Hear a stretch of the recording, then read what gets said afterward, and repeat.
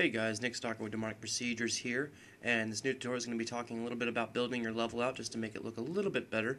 Um, you can see here is now I have two rooms with textures applied to them, and I have some more lights in here, and I have some lights up here.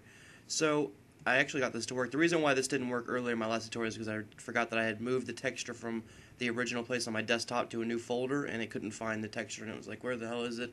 And that's why it wouldn't let me add it. So after fixing that, and telling it where the new texture is, it's all good to go now. So I have my level here, and I've added some extra rooms. Well, let's add some more. I'm gonna not. Add, I'm gonna show you how to do this.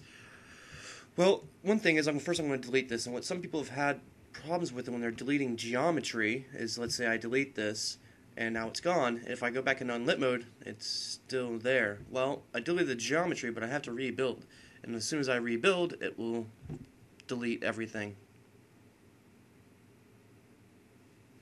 and we're good to go. Close, and now it's not there. So let's talk about building this out. Uh, I want to add another room over there like I had in that last little thing. So what I'm going to do is I'm going to grab my builder brush and I'm going to go to my properties by left clicking, bring this up to 256 by 256 by 256, and build that out. And I'm going to put it right here, right here you have to realize that these uh, with the 16 drag grid units that we talked about earlier in the view and drag grid with the 16 units, each one of these larger boxes is 128 by 128. So two of these boxes is 256. So right now I have a 128 space between these two rooms. So let me go to my perspective, and you can see it's too high in the air, I think. Yep, or too low, sorry. Uh, I'm going to go to my front view, and we're just going to bring this room up. Now, something that you should always do I didn't really talk about before is when you're in the content browser and before you even make a room, you should always have a material selected. Um, you should always have a material selected. Uh, it's just a good way of working. So I'm going to have my pebble color selected, and then when I subtract this, it should add it as the texture I want for my room, and the whole room should be this texture. It's just a good way to work. If I go to unlit mode, and it didn't because it's fail. I don't know why. It used to work in the UT3. Maybe it doesn't work in this version anymore. I haven't really tested that theory out. But I have another room, so that's good. Let's go to our top view, and now we need to make a hallway connecting these two rooms. So since I need a hallway, and I need a brush that's 128 by 128 to match up these rooms exactly. So I'm going to go to my builder brush, and in the, let's see, Y, I need it to be 128. So I'll bring that to 128 and build. Or sorry, that was in the X. Let's leave that to 56. I need that to be 128 and a Y build that out. And now you can see my builder brush fits exactly in between these two rooms. So let's go to the front view. And it's a little tall. I don't want I want I don't want it to be like because if it's just that, it's just like one big room. So you need some kind of something to tell tell the user that he's going through a hallway. So I'm going to make that a little shorter, make it a 128, and bring it down to the bottom. Because if it was as tall, it'd just be one big room. It wouldn't look like a hallway. And if I go into my top view, you can see the same thing going on here. It's now it's going to look like they're walking through me go into my perspective window here. If they were playing this map, it's going to look like they're going from one room to the next, and it's not really a hallway, it's just kind of like here's a low-hanging ceiling, which doesn't make sense. So we're going to change the X value to 128 and build that out. And now I have this cool kind of hallway connecting these two rooms. So let's subtract that and close that out and go into unlit mode. So now I have my two rooms, and you can add textures to this uh, as you want, but now you know how to add this up.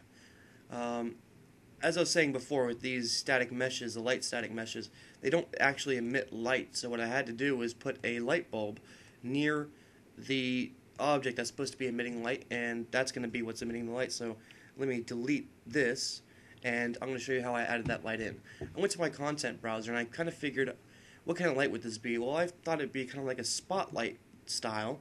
So I went to my actors classes right here. If I go to my content browser, the next tab over is called actors classes.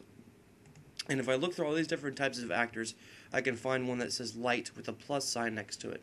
I'll drop that down and I see spotlight. So I select the spotlight, make sure it's highlighted, and I'll right click in my room and go to add spotlight here. Not add actor, add spotlight here. So I'm going to add my spotlight in, I'm going to bring it up. And I'm going to look I'm just going to kind of eyeball this. Actually, I I should do a little something better. I'm just going to go straight to the top and try to make sure I'm getting this looking like it's right. Okay, now let's go back into perspective. So you can see I have my light in there. But you see this huge cone? That's the radius of the light, and that's just really, really big for what I want to do. So I'm going to, with the light bulb selected, I'm going to hit F4, and that will bring up the light properties. Now with the light properties, there's a bunch of stuff you can mess in here with, but we're just going to mess with some simple things here. First thing I'm going to go down to is if you go into, you'll see, you'll get this. You want to open up light, then you want to go to light component, and that will open up all this good stuff the first thing you want to go down to is light color. I want to try to match the light color. It's not white light coming out of this thing at the top here. It's kind of like a blue, has a kind of a bluish haze to it. So I'm going to make it a bluish color. So I'm going to open up the light color just by clicking on this bar here, the white bar, and I'm going to change the color to maybe something bluer. I'm going to go really blue just so you guys can really kind of see the huge difference here when I'm done with this.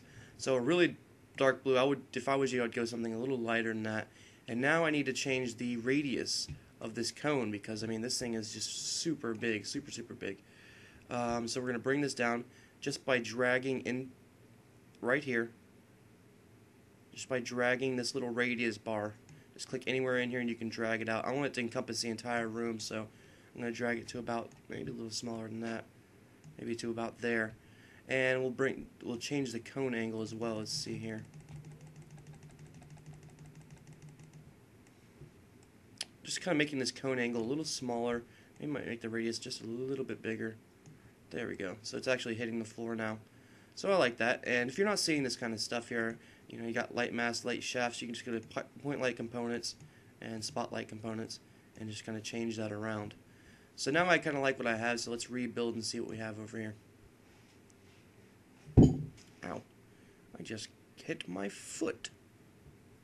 Close that out, close that out and we'll run this. Now you're not really seeing a lot of blue. That's not good. It's a no bueno. And I think that's because I have these other lights in here kind of washing this blue out. So let's take these lights and we'll delete them. And let's try to rebuild that and see what that looks like.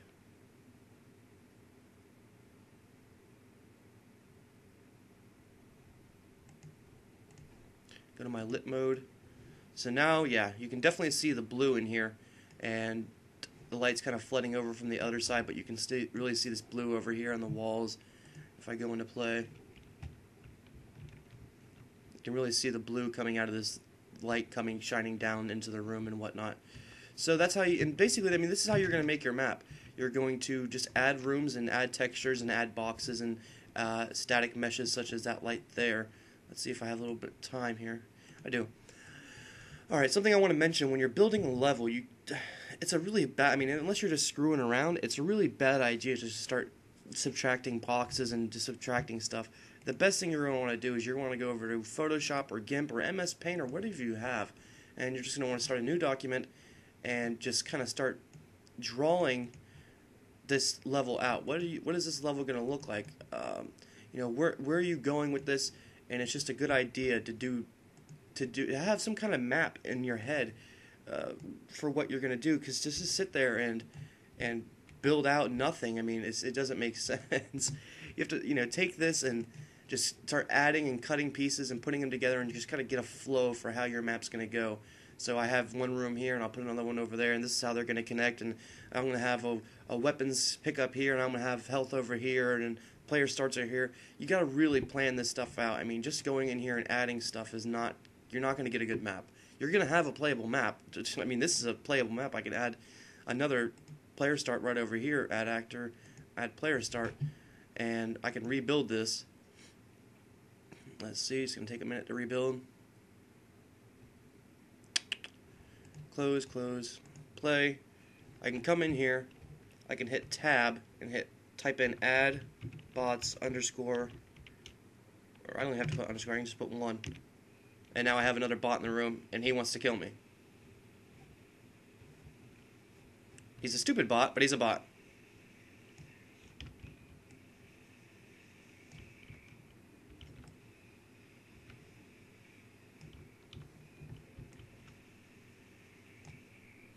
So, there you go. You have a map, and I mean, but it's not a very good one. So plan out your levels, know what you're going to do. Don't just go in here and start cutting stuff out. Uh, make your own textures. Take time with your textures. Textures are a huge part of games. I mean, you're not allowed to use a lot of polys. Engines are very good these days, even with the next gen. They still can't handle a lot of polys for details. So textures are very, very important uh, to what you're trying to do. Just make sure you plan, and you. I promise you'll come out with a great map. So, uh, this is Nick Stocker with Demonic Procedures. Thanks for watching. Uh, just remember, the demon's inside.